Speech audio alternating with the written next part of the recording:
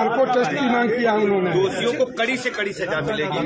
उनकी पुस्तें भी याद करेंगी इतनी कड़ी सजा तो उन्होंने कहा है कि कोर्ट की निगरानी में इसकी जाँच हो क्योंकि आप किसी को उनको भरोसा नहीं रहिए पूरी सरकार परिवार के साथ खड़ी है और किसी भी स्थिति में दोषियों को कड़ी से कड़ी सजा मिलेगी।